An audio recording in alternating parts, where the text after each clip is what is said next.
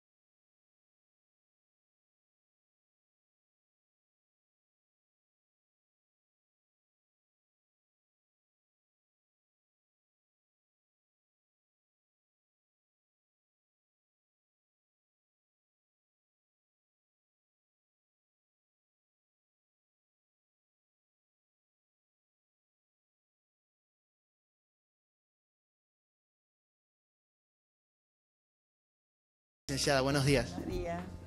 Cuénteme usted cuánto tiempo lleva trabajando de auxiliar. Eh, yo estoy trabajando 47 años en servicio de salud. 47 años. Si no sabes qué ¿Y qué la motiva a seguir adelante?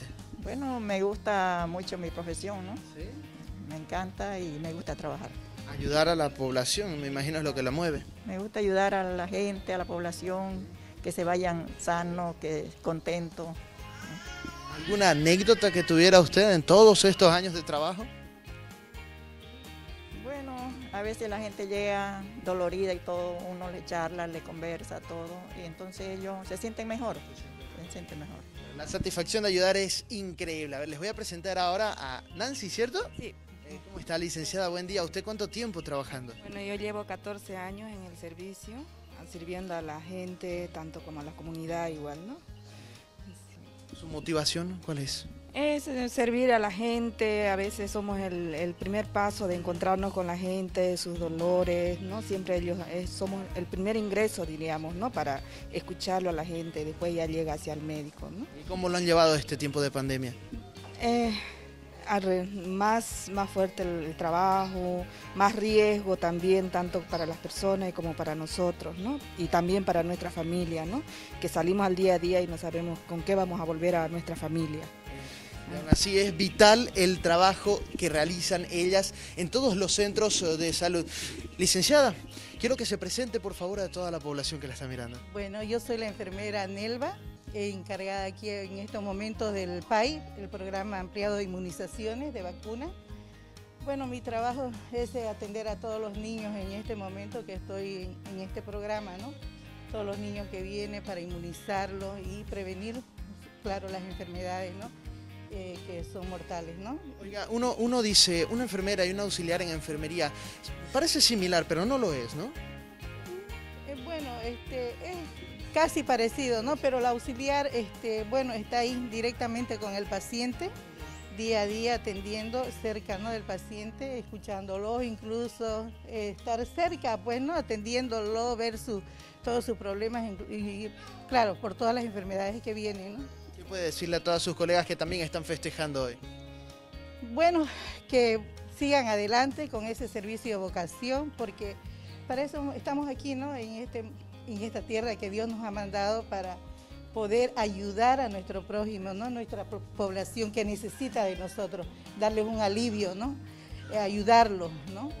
Claro que sí. Bueno, Fernando, y ahora voy a terminar eh, con la licenciada Margarita Castellón, quien también nos ha recibido porque su vocación es poder ayudar a toda la población y es algo muy importante e infaltable, ¿no? Para la salud hoy en día. Sí, muy buenos días. Soy la licenciada Margarita, supervisora del Centro de Salud La Colorada. Es un gran apoyo para la población también, como dar un apoyo psicológico a la- toda la población, porque día a día estamos con- en, en nuestras manos cada población que tenemos, ¿ya? Por ejemplo, nuestras auxiliares que hoy día ellos están festejando, ellos cumplen otro año más cada día, cada vida y a donde van dando el, la brin- el que brinda la población en general. Bueno, importante entonces, miren, aquí ya la florcita la hemos entregado y toda la población está aquí siendo testigo de este festejo que se le está realizando, bueno, una conmemoración muy linda, importante del personal médico. Fernando. Importantísimo, realmente reconocer el trabajo de estas personas que sin mucho pedir nos dan tanto, Vivian. ¿Cuántas horas pasan al lado de un enfermo? Como dicen ellas, son las primeras en recibir a las personas que van con alguna patología allí. Y la verdad es que nadie se acuerda de este día. Nosotros hoy quisimos, de alguna forma, de alguna forma pequeñita, poderles llevar una sorpresa y decirles gracias a través de estas flores y estas rosas. Sí, es muchísimas gracias Edmundo, muy lindo el detalle que realizó. Y como ya decían, ¿no? Son madres y psicólogas de todas las personas que llegan hasta sus manos, sobre todo los pequeñitos que nos comentábamos. Y miren cómo regresan ya a su horario laboral, Sonriendo. a su turno, se van con su rosa. Le hemos alegrado realmente la mañana y estos pequeños detalles usted puede tener con cualquiera de estas mujeres que son tan importantes, sobre todo en esta época de pandemia. Dios las bendiga realmente. a todas estas mujeres y hombres también, porque hay, hay hombres que eh, realizan este trabajo, son auxiliares ellos de En enfermería, también hay hombres que son enfermeros, así que para todos ustedes un abrazo de la revista El Día con mucho cariño, mucha humildad y esperamos que pasen una gran jornada hoy. Le damos un clavel a los varones. Mira, ahí está Edmundo. Continúa, continúa regalando flores y alegría y un buen detalle en esta época. Es un ¿no? caballero este del mundo. ¿Le gusta más la rosa o el clavel a usted? Eh, la rosa. No se estila así dar a los varones, ¿no? Una No, rosa. flores no. Pero un clavel puede ser. Una salteña. Claro. Mire, hay rosas amarillas también. Ah, que claro, para pueden los darle. señores. Tienen su significado cada rosa, pero todas es de agradecimiento, de mucho amor, valor y respeto Así al es. trabajo que estas personas realizan. Muchísimas gracias, Edmundo, por el contacto. 8 de la mañana, 16 minutos. Paula, ¿qué nos cuentas?